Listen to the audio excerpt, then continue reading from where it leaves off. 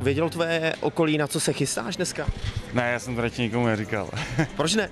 já nevím, nebo víceméně oni to věděli, lidi, co to viděli, takže pár zpráv jsem dostal a, a myslím si, že uvidějí, jak to dopadlo.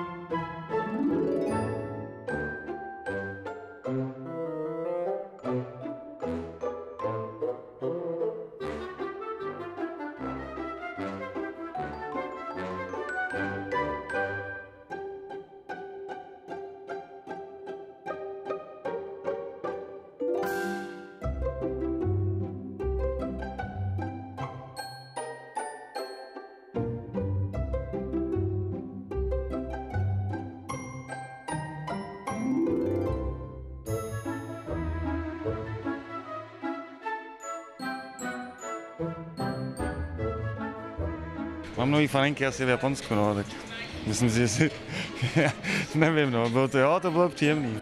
Thank